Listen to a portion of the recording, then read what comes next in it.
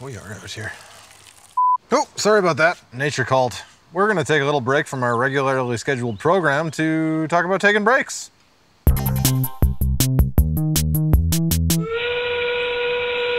Wow, right on schedule. That almost never happens. This break is brought to you by Julia B.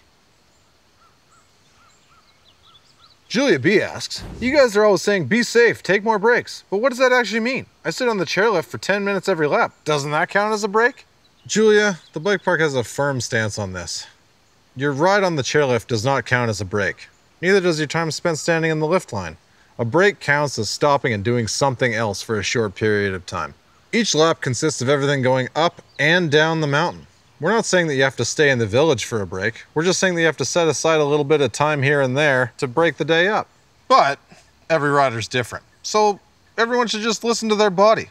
Fatigue is literally, not figuratively, literally the number one cause of injury in the bike park. So you can all take some little breaks during your rides or risk taking a big break by getting hurt.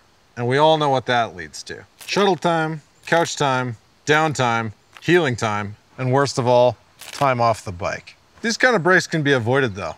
Lunch shouldn't be your only break of the day. Break at a skills center, break at a trail hub. Heck, break at one of the vistas we have set up. Breaks are good.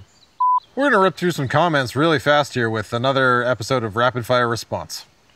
Angus asks, when will the Stevie Smith DH track be open? Angus, it's called 1199 and it's going to be open sometime in 2020. Mr. Gibbles asks, I hear wild animals like to clean up mountain biker blood, especially on freight train. Is that true? I don't believe that's true, but uh, there's a lot of stuff I don't know, so who knows? Campbell M says, one day every year have a bike skimming contest like in the winter, but with bikes. That's not how hydroplaning works, and I don't think that the lawyers are going to like it very much. Keenan asks, Will you slap pack my ashes into a jump if I die soon?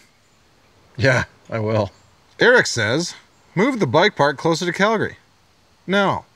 I moved from Calgary to get closer to the bike park. You'll have to do the same. Oscar says, move the park to Australia so I can ride it. Nor. Simon says, move the park to. No, I'm not moving the park. Let's. This is getting repetitive. Let's end on something more fun here. Selena asks, what conditioner do you use? A man never tells. We got an ask here from Devin P who wants to. Oh. Yeah, this one's very short. Very to the point. It just says cheaper food. So you want to see what I got? I'm going to show you how to make Pete's Trail Pops.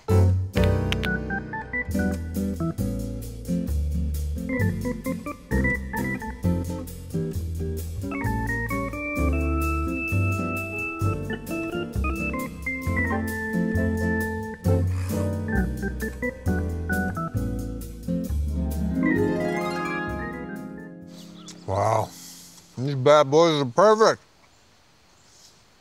I'll be selling these doughy pockets in the lift line for the low, low price of a buck a piece if you're interested.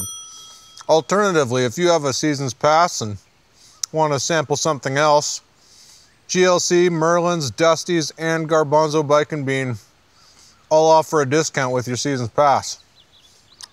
Bon appetit.